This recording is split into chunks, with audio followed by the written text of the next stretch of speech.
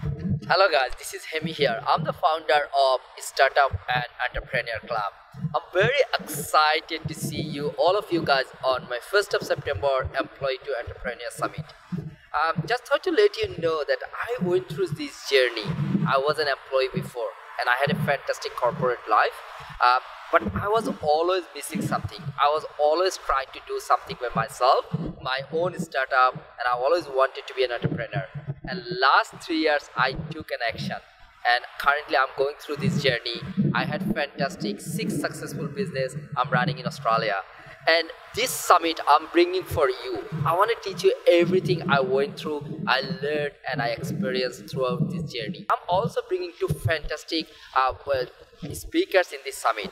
And uh, one of the speakers is John, and John is an wealth management expert. And just letting letting you guys know that he actually managed my wealth. So John actually used John actually showed me how to I can use my unutilized money, how I can actually plan my superannuation, how I can plan my future. The next speaker I'm bringing Brooke Earl. So Brooke was my one-up manager at Telstra. I worked for her. He actually recruited me at Telstra.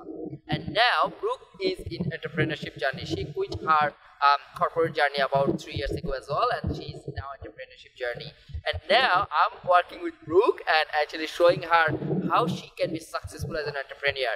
And last one year, she's been doing awesome. And I, I'm just bringing her so she can actually share with you about her journey, what she has done differently, and what actually bringing her in terms of you know, like, so what she's gaining from this entrepreneurship journey.